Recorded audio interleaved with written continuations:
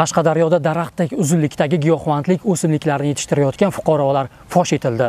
Gap shundaki ichki ishlar organlari tomonidan o'tkazilayotgan qoradori ikki ming yigirma to'rt tadbirlari davomida koson tumanida yashovchi aka uka uyidan jami to'qson besh tup daraxtdek uzunlikdagi giyohvandlik o'simliklari topilgan. Ma'lum qilinishicha aka ukalardan birining molxonasidan qirq tup ekilgan va o'n ikki tup quritilgan.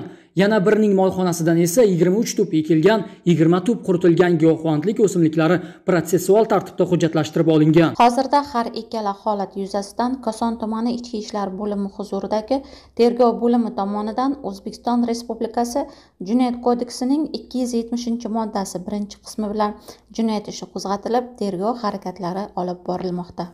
Mas'ullarning qo'shimcha qilishicha hozirda viloyatning boshqa hududlarida ham bu kabi tezkor tadbirlar davom ettirilib aniqlangan holatlar yuzasidan qo'shimcha o'rganish va tekshiruv harakatlari o'tkazilmoqda.